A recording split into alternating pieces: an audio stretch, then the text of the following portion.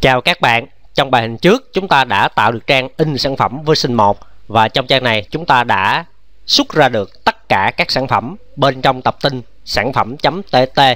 Trong yêu cầu bài thực hành xuất ra các sản phẩm mới, chúng ta chỉ được phép xuất ra các sản phẩm mới bên trong trang chủ thôi, chứ không phải là bên trong trang sản phẩm của chúng ta có bao nhiêu sản phẩm là chúng ta xuất ra hết.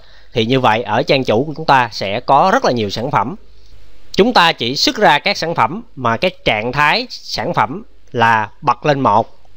Bây giờ các bạn hãy mở lại trang sản phẩm .tt trong thư mục dữ liệu của các bạn. Thì các bạn thấy là đối với một sản phẩm thì chúng ta có thiết kế ra một cái trường, đó là trường cho biết đây là tình trạng của sản phẩm. Nếu tình trạng của sản phẩm mà bằng một thì lúc bây giờ chúng ta mới xuất ra cái sản phẩm đó ở ngoài trang chủ do đó là bây giờ khi chúng ta xuất ra các sản phẩm mới thì chúng ta phải kiểm tra là cái tình trạng sản phẩm phải bằng một thì chúng ta mới xuất ra.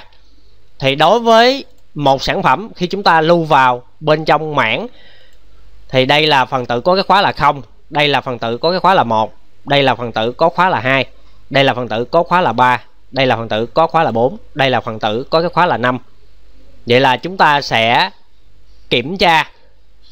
Bây giờ các bạn hãy in ra thử cái mảng AR sub thử để chúng ta kiểm tra lại xem là cái tình trạng sản phẩm là nó nằm ở phần tử. Có cái khóa là mấy bên trong cái mảng con AR sub này. Các bạn chạy lại thử. Thì bạn thấy là đây là một sản phẩm và cái tình trạng sản phẩm là nằm ở cái phần tử. Có cái khóa là bằng 5 đây là cái mảng con AR sub vậy là chúng ta cần kiểm tra. Chúng ta chỉ xuất ra cái sản phẩm này với điều kiện là cái phần tử có cái khóa là 5 của cái mảng con AR sub là nó bằng một thì chúng ta mới xuất ra. Vậy trong hợp này, trước khi xuất ra cái thẻ figure này là chúng ta phải kiểm tra. Tạm thời các bạn khóa cái link này lại. Chúng ta phải kiểm tra là nếu nếu cái mảng con AR sub này, ở phần tử có cái khóa mà bằng 5 cái phần tử có khóa bằng 5 chính là phần tử chứa cái tình trạng của sản phẩm. Nếu mà nó đúng bằng một, thì lúc giờ chúng ta mới bắt đầu. Chúng ta xuất ra cái thẻ figure này. Về chỗ này là chúng ta sẽ kết thúc của cái lệnh if. Chỗ này các bạn kết thúc lệnh if. Thì kết thúc lệnh if thì các bạn có thể kết thúc luôn chỗ này cũng được. Chúng ta viết bên trong cái cụm biết pin này luôn. Đây là kết thúc của lệnh if còn đây là kết thúc của dòng lọc for chỗ này là end if còn cái dấu mốc này là kết thúc của dòng lọc for có nghĩa là thỏa cái điều kiện này thì lúc giờ cái sản phẩm này mới được xuất ra. Có nghĩa là tình trạng sản phẩm là mới thì chúng ta mới xuất ra cái sản phẩm đó. Do đó là chúng ta phải gài cái điều kiện này vào. Dòng này có nghĩa là chúng ta chỉ xuất sản phẩm mới thôi.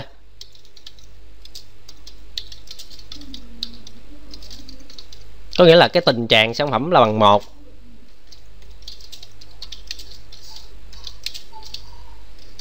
Tình trạng sản phẩm bằng một, đó là sản phẩm mới. Bây giờ các bạn lưu lại. Các bạn chạy lại thử trang của chúng ta lại thử thì bạn thấy là cái số lượng sản phẩm của chúng ta bây giờ nó sẽ là ít lại. Ví dụ như là cái sản phẩm TV1 này, nếu mà tình trạng sản phẩm không phải là mới thì nó sẽ không xuất ra. Ví dụ chỗ này, tình trạng nó đang là một, bây giờ chúng ta cho bằng không. Các bạn lưu lại, các bạn chạy lại thử. Vậy bạn thấy là cái TV1 này nó sẽ không xuất ra. Do đó là nếu muốn sản phẩm nào là sản phẩm mới thì sau này chúng ta sẽ thiết kế một cái trang admin. Chúng ta cho người quản lý chích vô cái ô tình trạng làm mới, là sản phẩm mới, thì lúc giờ nó mới xuất ra ở trang chủ. Do đó là cái tình trạng sản phẩm này là chúng ta có thể cho nó là một hay là không là tùy. Ví dụ là chúng ta muốn bỏ bớt một số sản phẩm đi, thì cái tình trạng sản phẩm này chúng ta cho là bằng bằng không. Thay vì nó bằng một thì chúng ta cho nó bằng không.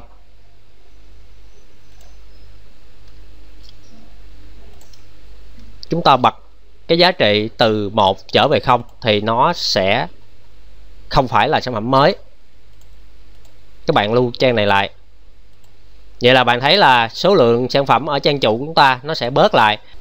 Ở trang chủ thì chúng ta xuất ra sản phẩm mới khoảng 12 hoặc là 13 sản phẩm thôi cũng được, chứ không phải là chúng ta có bao nhiêu là chúng ta xuất ra hết. Vậy là nếu mà các bạn muốn bớt sản phẩm thì lúc giờ trong cái trang sản phẩm này những cái sản phẩm nào mà tình trạng là một thì các bạn cho bớt về không đi, để số lượng sản phẩm ở trang chủ của chúng ta xuất ra nó bớt lại.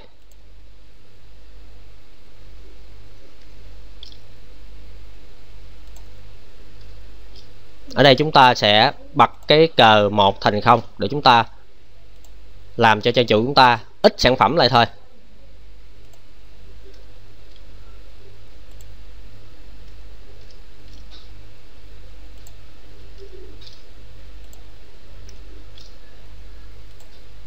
Các bạn sửa lại trong trang sản phẩm.tt các bạn kiểm tra lại. Các bạn canh làm sao ở trang chủ của chúng ta. Cỡ khoảng 12 tới 16 sản phẩm thôi.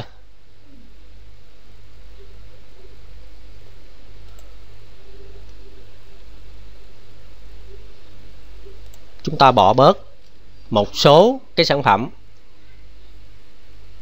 Thì các bạn chỉ cần cho cái tình trạng sản phẩm từ một, các bạn cho về không là được.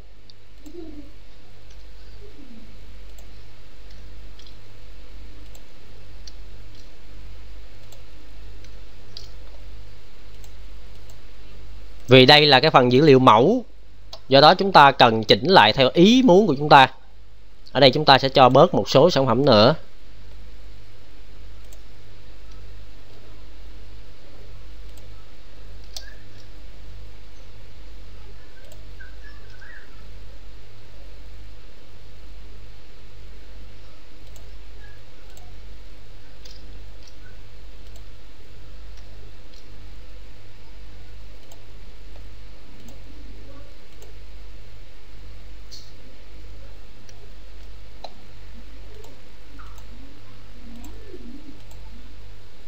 Vậy là số sản phẩm ở đây bạn thấy chúng ta đã ít lại rồi. Các bạn có thể bỏ bớt nữa cho trang chủ của chúng ta nó ngắn lại. Các bạn bật từ 1 về 0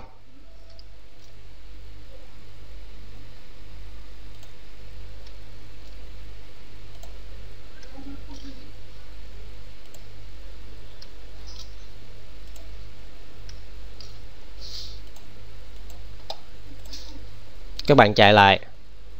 Ở đây chúng ta còn là 4 8 12 16 chúng ta bỏ bớt một cái nữa.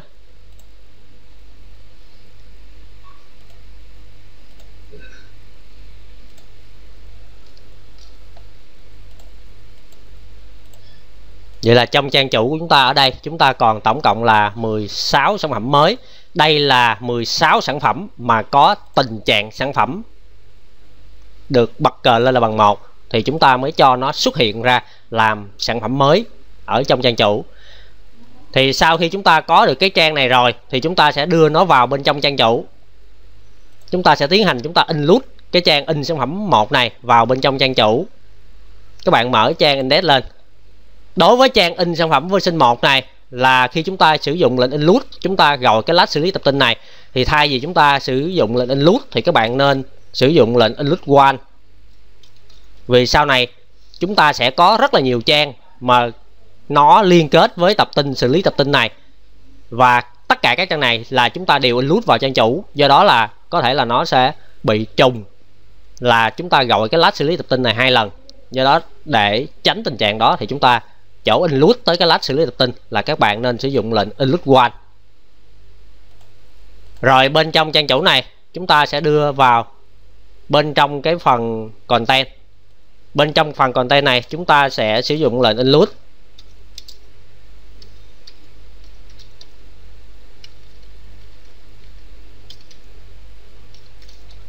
trong lệnh include này, chúng ta sẽ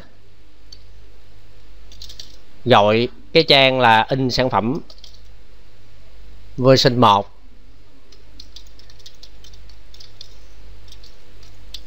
.usb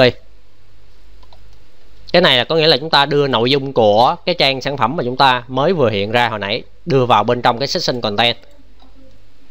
Các bạn lưu lại. Bây giờ các bạn hãy chạy thử trang chủ của chúng ta thử. Thì đây là giao diện trang chủ của chúng ta. Nếu mà chúng ta hiện ở đây ba hình, thì các bạn bỏ bớt một sản phẩm đi, để cho nhìn nó dễ hơn. Vậy là trong trang này chúng ta bỏ bớt một sản phẩm. Tình trạng chúng ta cho trở về là bằng không. Ở đây chúng ta có tổng cộng là 3 6 9 12 15 cái sản phẩm mới nhất. Vậy là trong cái phần sản phẩm mới nhất của chúng ta là chỗ này chúng ta hiện ra tổng cộng là 15 sản phẩm. Thì đó là bài thành hôm nay của các bạn, là các bạn hãy xuất ra các sản phẩm mới bên trong trang chủ. Chúc các bạn thực hành bài lách này thành công. Chào các bạn.